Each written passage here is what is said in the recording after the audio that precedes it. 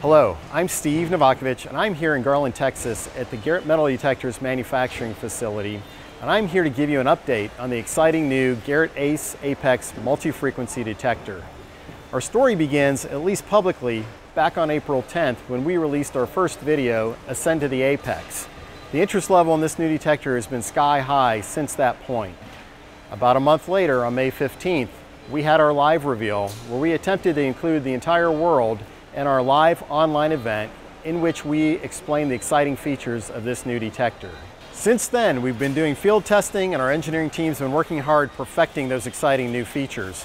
Features like Garrett's multi-flex multi-frequency technology, including a really exciting multi-salt mode and the exciting new Viper coil, which is a multi-frequency coil that's to be used with this advanced detector.